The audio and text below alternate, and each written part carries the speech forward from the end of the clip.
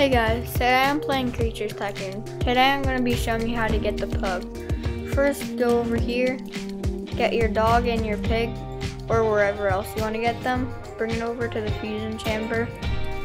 Make sure the energy is 100 out of 100, or it won't work, or you can speed it up if it's not done and you really want it.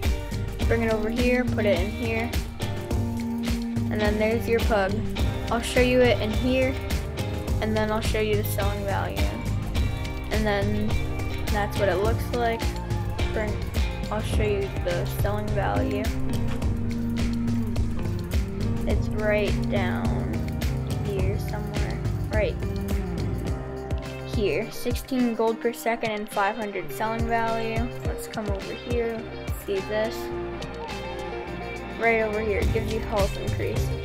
Thanks for watching. Please subscribe and like this video. See you next video.